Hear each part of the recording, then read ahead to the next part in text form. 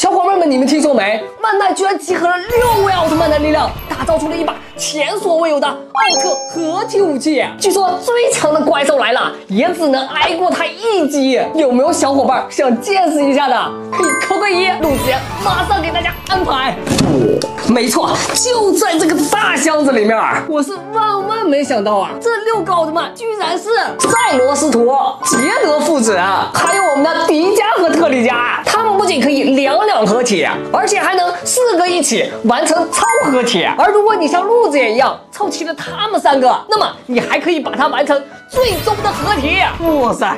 这个组合玩法简直不要太帅，就是不知道这个实物到底怎么样。先来看赛罗斯图，两把武器均做成了短刀的造型，不过不同的是，一把融合了赛罗头标，而另一个则加入了泽塔升华器的元素，另外还带了一个手柄，分别给它插上去，直接变成了短刃模式，仿佛手里面拿的是光刃一般。要是再来个手柄就好了。另外，手柄处还有一个按钮，短按会有攻击音效。长按则变成了必杀技。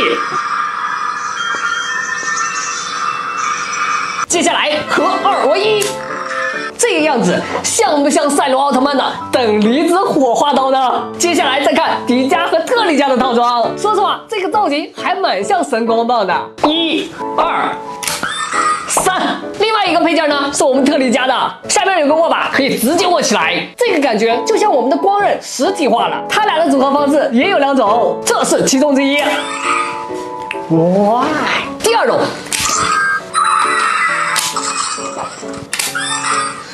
哇塞，你们感觉哪一个合体比较帅？我还是比较喜欢这个，像我们的欧布圣剑，唰！哎，现在我们正好可以完成四合体了，来看我变形。我想这次的变形应该符合大家的期待了吧？前面是一个三叉戟的造型，后面则是特利迦的美刃，就连它的必杀技音效都做了升级。最后，我们再给它融入贝利亚的力量。相信这次的升级，没有人不说一个帅字。这个有点像捷德之爪。然后是我们的贝利亚掏火棍儿，同样也是两种方式。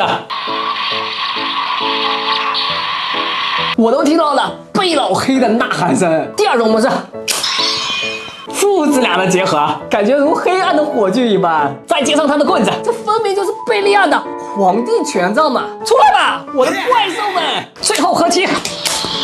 哇！哇塞，成功了！整把武器长度直接达到了八十厘米，好家伙！看我的中交翼！哇！